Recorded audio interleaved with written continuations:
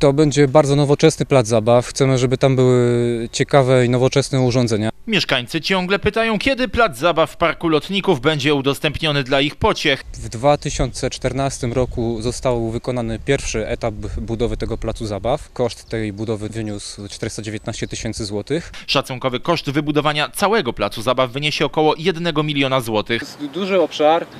Y, Sama ta nawierzchnia, to, to, bo, to jest, bo to będzie taka guma, nie? To samo to wiesz ile kosztuje? Te wszystkie urządzenia chcemy, żeby były na wysokim poziomie i stąd też koszt całego tego, całej tej inwestycji. Na chwilę obecną cały plac jest ogrodzony i nie można z niego korzystać. Jak poinformował nas rzecznik MZNK Piotr Jamrus, szacunkowy termin zakończenia prac nad placem to wrzesień-październik. Plac nie jest jeszcze otwarty, ponieważ w tym roku będzie wykonany kolejny etap budowy. MZNK w ubiegłym roku wykonał pierwszy etap budowy placu zabaw i siłowni zewnętrznej w Parku Lotników. W tym roku w ramach inwestycji planowane jest wykonanie następujących prac: ogrodzenia, nawierzchni bezpiecznej dla dzieci, instalacji elektrycznej i teletechnicznej, Będzie doprowadzona sieć elektryczna, plac będzie oświetlony i sieć teletechniczna, bo ponieważ plac docelowo ma być y, monitorowany. Prace budowlane będą przeprowadzone po przygotowaniu niezbędnych materiałów, to jest kosztorysu inwestorskiego, przedmiaru robót, specyfikacji technicznej. Po ich wykonaniu plac zabaw będzie udostępniony mieszkańcom. Urządzenia, które mm, jakby swoim kształtem, swoją budową nawiązują do